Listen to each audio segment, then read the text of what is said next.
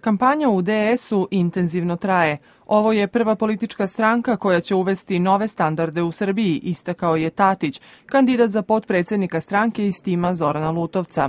Za predstojeće unutar stranačke izbore kandidovano je četiri predsednika i 12 potpredsednika.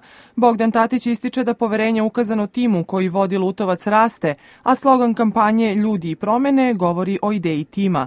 Njihov cilj je da ljudi koji će voditi stranku ne budu samo iz Beograda, već i manjih lokalnih sredina demokrate moraju da nude rešenje. Od trgovišta, babušnice do Subotice, bukvalno. I to je snaga demokratske stranke, gde nijedna druga stranka nema te lokalne kvalitetne ljude. Za to se zalažemo i vrlo smo prepoznali šta su građani rekli na posljednjim izborima, dakle nisu se slučajno desili fenomeni nekih građanskih inicijativa, građani su u demokratskoj stranci dali priliku da se prvenstveno menja. To želimo da uredimo u ovim procesima, želimo da kandidujemo nove ljude, nove ideje, nove rešenja i da povratimo kredibilitet stranke, jer to ova stranka ima. Vrata lokalnog DS-a otvorena su za sve kandidate koji žele da predstave svoje ciljeve i ideje. Dosled je bio Dragan Šutanovac. Večera smo očekivali gospodina Lutovca, došao nam je gospodin Tatić iz njegovog tima.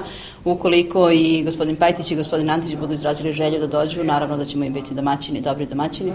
Jer ono što je najlepše na ovim izborima je što će svakako pobediti demokrata, te prema tome sa nestrpljenjem očekujemo izbore. Prvi krug unutar stranačkih izbora u DS-u zakazan je za 24. septembar.